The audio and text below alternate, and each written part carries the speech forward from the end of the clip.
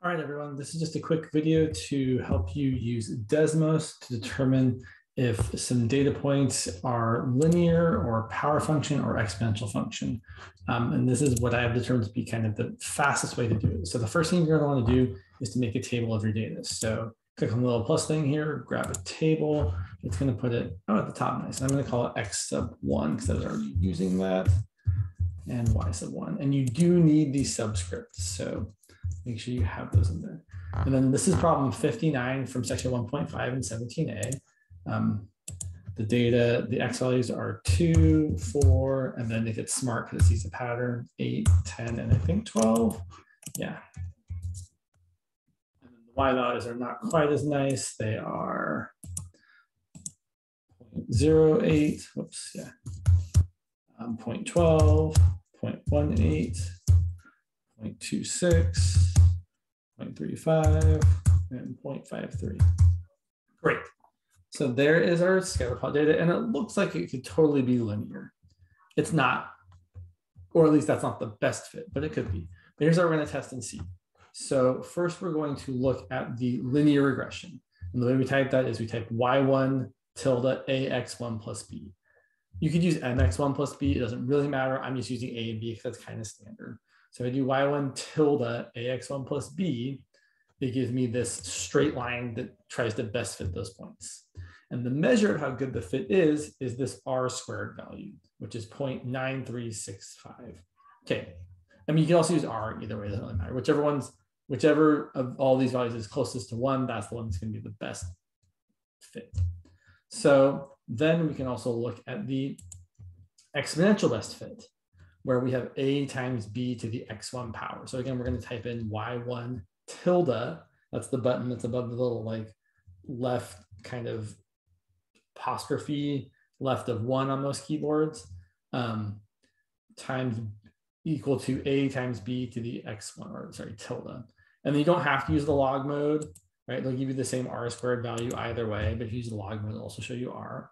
And if we graph that, it'll show you the best fit exponential function versus the best fit straight line. And then lastly, we have the power function, y1 tilde a times x1 to the b power. And if we do that, that gives you a power function. So like x squared, x cubed, or some not nice power. In this case, the power would be the 1.02537 power. So if we look at that, it shows you the best power function. Usually they don't go left of zero because x to a negative power is problematic sometimes. Um, sorry, or negative numbers to a power are problematic sometimes. And if we scroll out, we see it looks kind of like that. So which of these is the best fit um, for modeling this data? Or yeah, well, the one with the R value closest to one, or the one with the R squared value closest to one. So of all three of these, this middle one with an R squared value of 0.9979 is the closest of them all to one. So this is the best fit.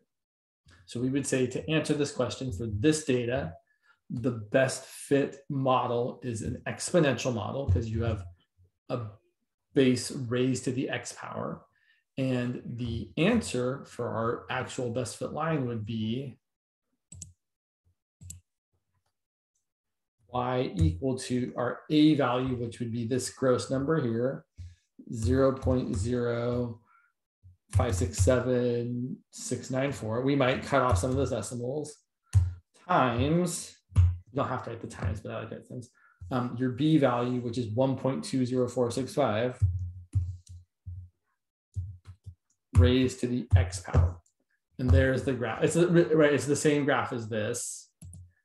It's just, this is actually what your answer would look like. You might throw some parentheses around it just so things don't get super confusing right? But that would be your answer. So for this data, that is the best model of it, an exponential model. Um, let's look at another example. So let's go down here. I'm going to turn this one off. And I'm going to, actually, I'm going to delete this one now. I'm going to delete this and this. And let's look down at this data here. So this is problem um, 61 from section 1.5. and the data, the X values are also still kind of nice and evenly spaced 0.5, 1, 1.52, 2.53, and the Y values less so. And so what I'm gonna do to make this easy, I'm just gonna change these subscripts real quick.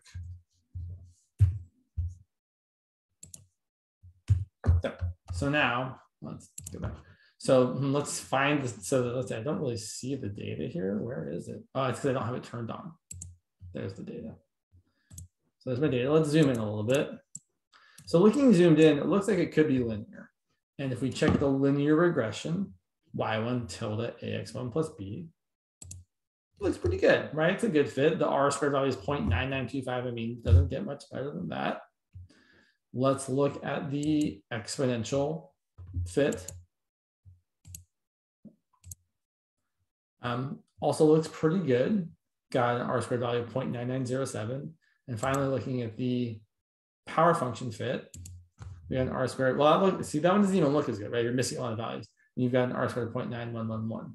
So looking at all the R squared values, this one is the closest one to one.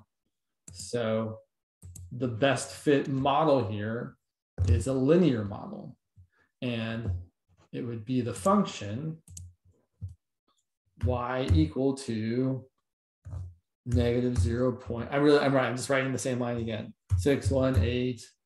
618, x plus uh, my b value, which is 4.368. And that's kind of it. Um, I didn't have any example. Let's let's go ahead and look at this last one. So close that, close that. Look at this last one here. So we'll change. We'll try to make our lives easy. Let's turn this off. Let's turn this on. So hmm, I need to find this data here. Let's zoom out a little bit. There we go. It's, it's big, right? Because you got some y values of 80. Okay, we need to go out a little further. Sure. So there's my data. Okay, looking good. All right. So again, we're going to look at all the, well, in fact, we can even just look at these three and see that the power function is the best model because the power function has the R squared value that is closest to one. But we can still look at all of them. There's the linear best fit. There's the exponential best fit. There's the power function best fit. So here the power function is the best fit. And our answer, right, for the, the, the appropriate model, right, or the function that's the best function would be, I'm just gonna write out, even though we've already got it written kind of, it would be y equal to, let's see, my a value is 1.26029 times x to the, what's my b value, 2.00296. So there is my power function that's the best model for this data. So that's really quick in a nutshell, how to use Desmos to see which of the three types, either linear, exponential, or power function, are the best model for your data.